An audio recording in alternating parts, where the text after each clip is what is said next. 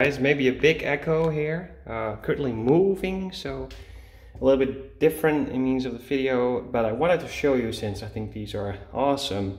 Uh, probably the best version of this that's gonna come out, unless they do the silver one high tops as well, but now I have five pairs of Converse Rick Owens. Uh, yeah, that should probably be top because I've been preaching just buying more expensive items so you need to think about it a little bit more than just buying this. Um, these were discounted, bought these on Satire, and in the European Union, um, it said that all the duties are taken care of. So I think these came from Switzerland and these came from Italy, and they were already discounted before release, which is interesting.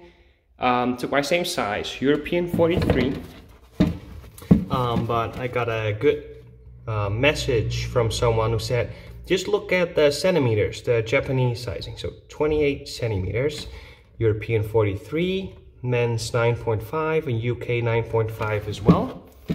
Um, haven't tried them on, but um, centimeters is the same, so it should work. Uh, a lot of these, um, they are even more Rockstar uh, with the square toe, silver, black, and then the, the, just the materials.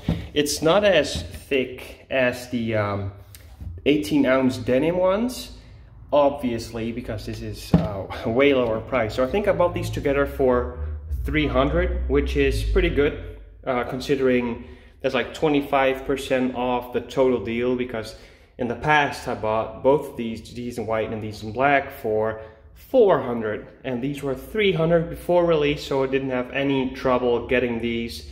Uh, not many people knew about it but um, yeah, shout out to the guy that sent me a message that these were available. First it was a little bit sketchy because I hadn't seen anything before, but that's apparently how it goes nowadays. So did you get these? Let me know. Um, I'm gonna enjoy these and when I get some outfit pictures, I'll probably post them on my Instagram. So let me know, share your thoughts, and let's talk about Rick Owens.